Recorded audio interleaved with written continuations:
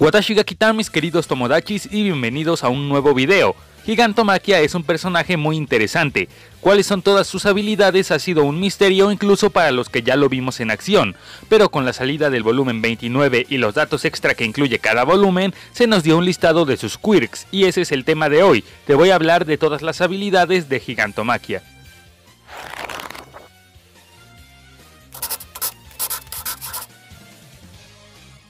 Y quiero aclarar que este video no tiene spoilers, o sea, obvio dice cosas que no sabes como algunos quirks porque de eso va el video, pero no digo ningún dato que afecte directamente a la trama, así que lo puedes seguir aunque estés viendo únicamente el anime y no estés al día con el manga.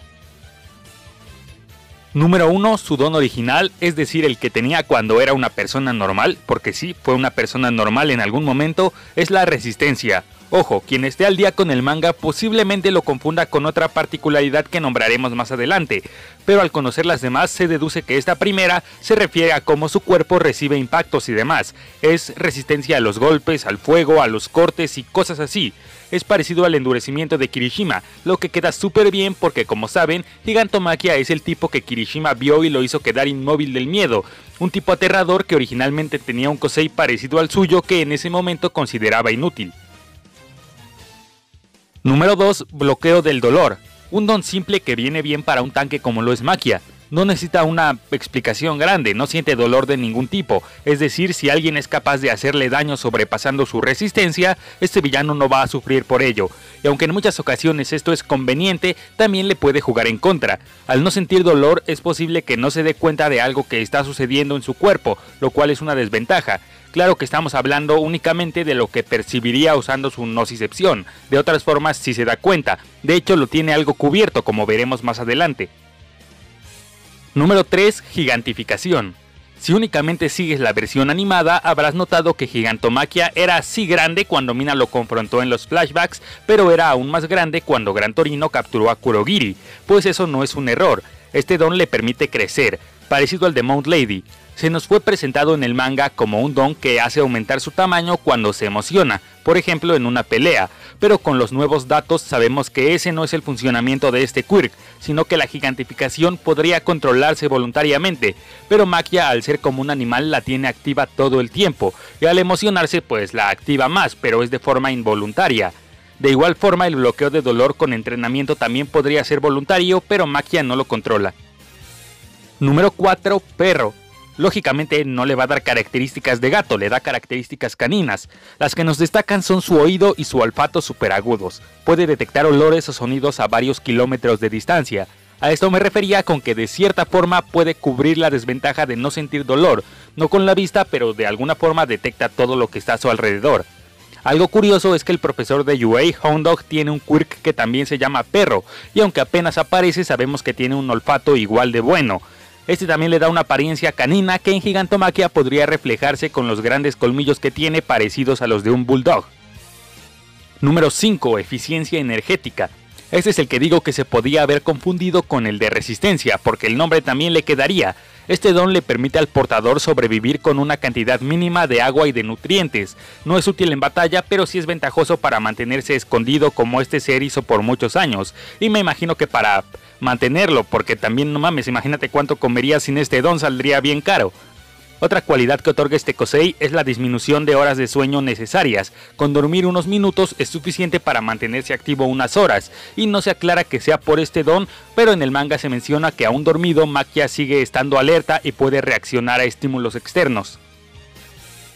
Número 6. Músculos fuertes. Volvemos con los nombres poco complejos, hace que sus músculos sean fuertes, pero también los hace muy duros. Es parecido a lo que hacía Muscular, él se recubría con fibras musculares más duras y fuertes que las naturales en un humano, pues Maquia no las genera y no se recubre, sino que sus músculos normales están reemplazados por estas fibras mejoradas. La superfuerza es evidentemente útil en prácticamente todo y aún estando en su interior la dureza pues le sirve como una segunda barrera para proteger sus órganos. O sea, si traspasas su piel dura no llegas a un material blando, sigue siendo algo difícil de dañar. Número 7. Topo. Aparentemente es la única particularidad que Maquia sí es capaz de activar y desactivar voluntariamente. Al estar activa modifica su cuerpo para que sea más apropiado para excavar y moverse bajo tierra.